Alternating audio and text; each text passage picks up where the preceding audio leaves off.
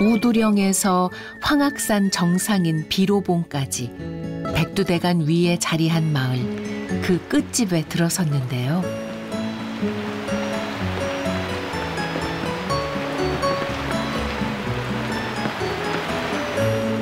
주인장 부부는 빗소리 들으며 명상하는 중이시네요.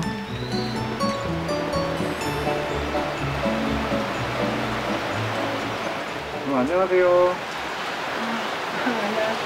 네, 안녕하세요.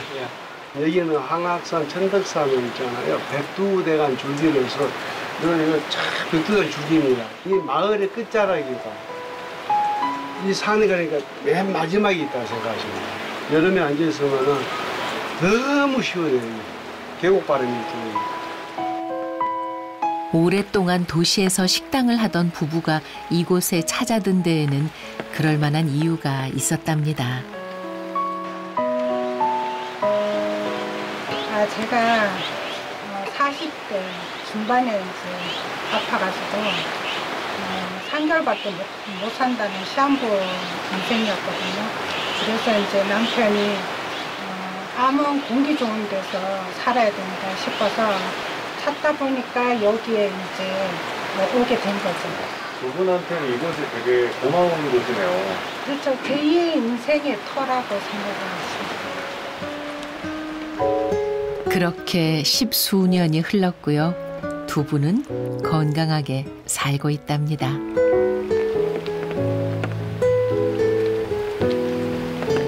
자연의 재료로 공들여 지은 이 집에서 말이지요.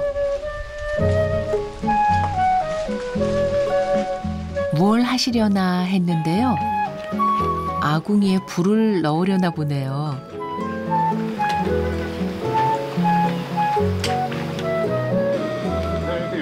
불을 떼시나 봐요. 어, 여기는 추워요. 그러니까 저희 집 보면은 1년 365일 보일러 때 그리고 또 이유가 있다죠. 아이고, 아이고 뜨거운데 이게. 아, 뜨거. 야, 오늘 비 오는 날 딱이다. 아, 나도 뜨거워서 안 돼. 빨간.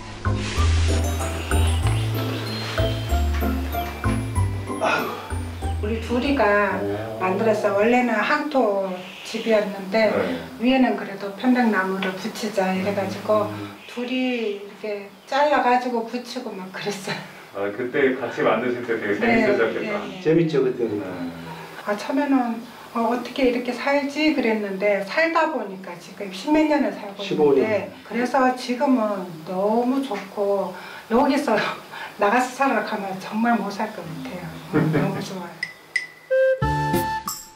이곳에 오기 전부터 아내는 찜질하는 걸 좋아했다고 해요. 아내가 좋으면 자신에게도 좋은 일이라며 남편의 권유로 직접 만들게 된 거죠.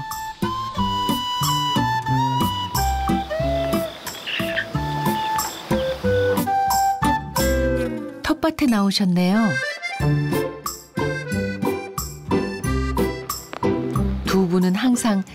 청정한 밭에서 직접 기른 작물만 음식에 쓰는데요.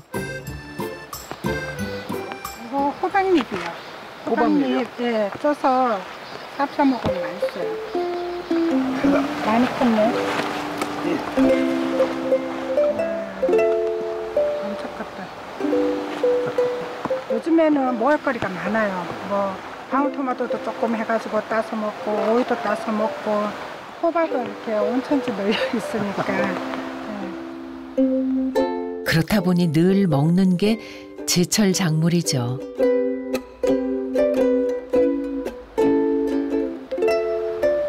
고추는 좀 오래전 좀 농사 좀 잘 됐어요.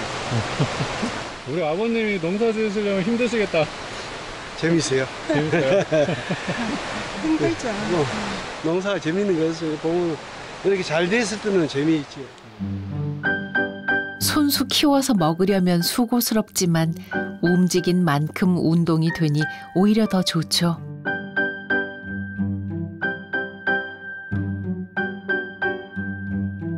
장독도 예사롭지 않네요. 된장이 약된장이거든요. 5년 이상 이렇게 담아서 묵혀놓고 먹고 이런 식으로 해서 약된장이에요. 음식 할 때도 허투루 하는 법이 없습니다. 있으면 기름을 사용을 안 하기 때문에 육수물을 이렇게 볶을 거예요. 청량 따가지고 다대기 만들었거든요. 직간장하고 이렇게 볶아가지고 요거를 갖다가 넣고 볶으면 맛있어요. 감칠맛을 내도록 육수를 만들어 넣으면 몸에도 좋고 맛도 좋고요. 채식 위주의 식단은 이곳에 와서부터 쭉 지켜오는 겁니다.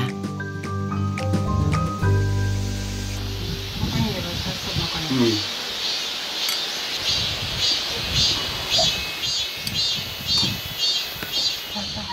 나 먹으라고. 어. 맛있어 뭐.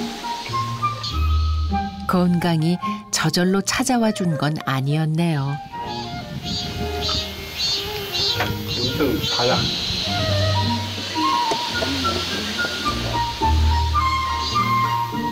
우리가 새끼 먹는 거, 균형 있게 골고루 먹는 거, 그거 이제 천수철매 이렇게 먹고 사는 거 있으니까 최고의 삶이죠, 지금은. 이렇게 좋은 음식을 먹고 좋은 공기 마시고 이러니까 제가 건강하게 지금 살고 있는 것 같아요.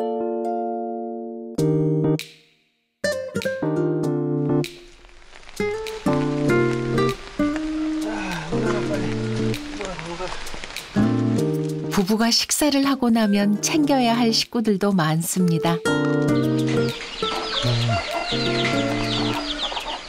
곳곳에 갓 태어난 녀석들이네요. 와 새끼 병아리 아니에요? 그러니까 새끼 병아리. 야들 지금 딴지 한 보름 됐나? 언니가 이렇게 뿌고 따요.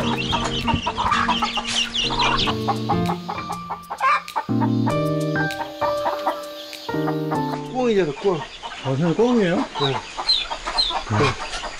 방만 있는 게 아닌가 봐요 꽁이. 네, 키우는 게 재밌으세요? 재미지, 야들은. 이 말은 안 하지만 살아있는 거 이렇게 보면은 재미있어요. 그러니까 이렇게 키우는 거지. 이제는 이렇게 집에도 부부 마음에도 생기가 돕니다.